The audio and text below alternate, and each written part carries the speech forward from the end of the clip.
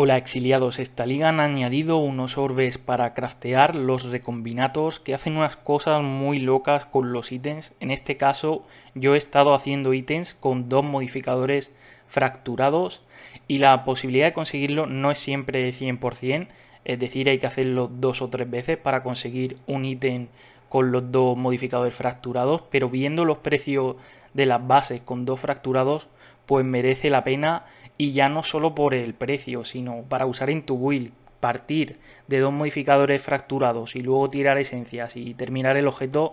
hace muy sencillo tener ítems muy buenos con poco gasto. Voy a explicaros un poco lo que yo he ido probando y cómo creo que se hace mejor, pero como no he hecho miles de intentos, tampoco sé si es lo más correcto, así que me baso en mi experiencia y un poco en mi lógica Primero de todo, los ítems fracturados no se pueden influenciar, así que no penséis cosas locas como meter influencias y modificadores fracturados. Se puede hacer con todos los tipos de bases, pero yo he probado sobre todo con joyería y armaduras. Simplemente tiene que coincidir el tipo de base. Si queréis fracturar eh, armaduras, pues que sean dos armaduras. Si queréis fracturar anillos, que sean dos anillos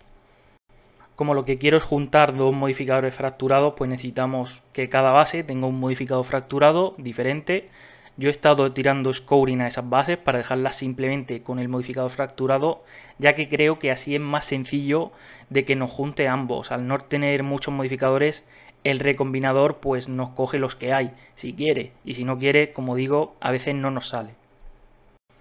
En cuanto a la base sobre la que tiene preferencia, pues creo que es aleatorio, creo que a veces coge la izquierda, a veces coge la derecha.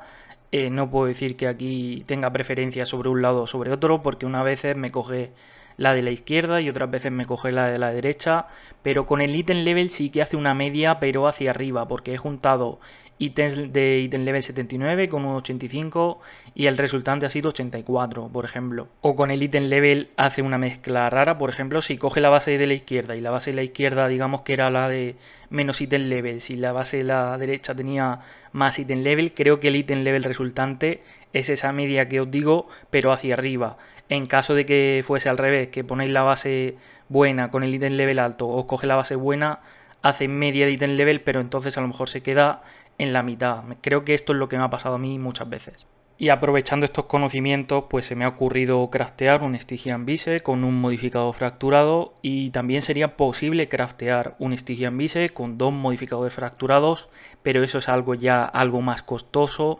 sobre todo si consideramos que un Stygian Vise con un fracturado ya vale dos o tres Exalted, pero ahí os lo dejo si vosotros queréis embarcaros en esa aventura. Y aquí os enseño algunos de los ítems que me he hecho yo hoy, gastando apenas dos Exalted con este método, comprando las bases que estaban a 5 o 10 chaos y luego terminándolos con esencias. Algunos están un poquito pochillos todavía y tienen margen de mejora, pero ya requiere invertir muchos exaltes y a mí personalmente pues no me importa dejar los ítems sin min maxear si he alcanzado el que creo que sería el punto de gasto eficiencia